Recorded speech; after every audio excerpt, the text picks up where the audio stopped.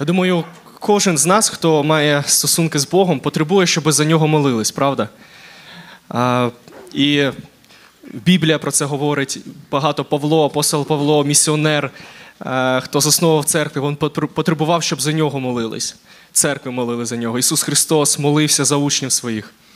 Знаєте, я навіть знаю одну сестричку з нашої церкви, яка не може ходити в церкву через хворобу.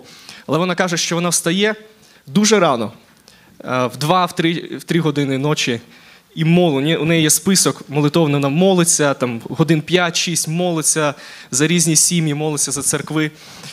І ну, я не кажу нам так, е, не всі, можливо, зможуть навіть фізично так. Але сам принцип, принцип е, молитва заступництва за інших людей дуже важлива. І про це ми хотіли б заспівати зараз.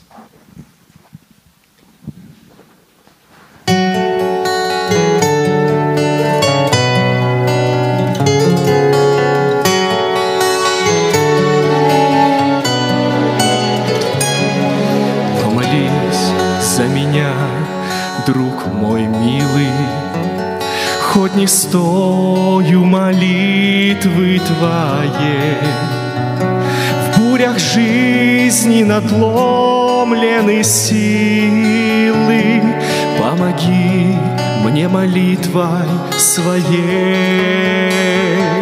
В бурях жизни надломлены силы, Помоги мне молитвой своей.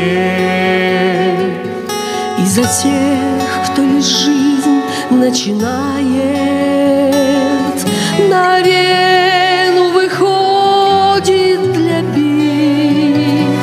Кто дорогу себе пролагает, Не жалей ты молитвы за них,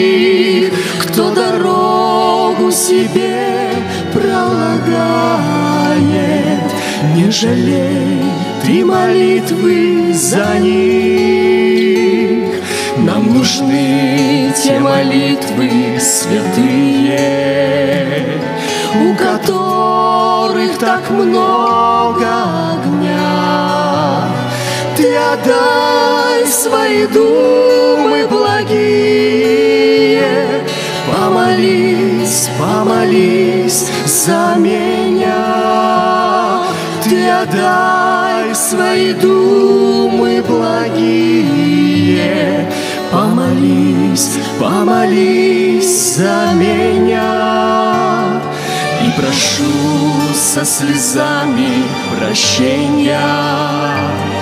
Будем вместе молиться, мой друг.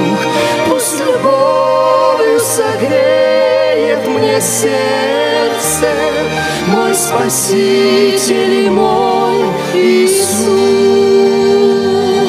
Пусть любовью согреет мне сердце Мой Спаситель и мой Иисус.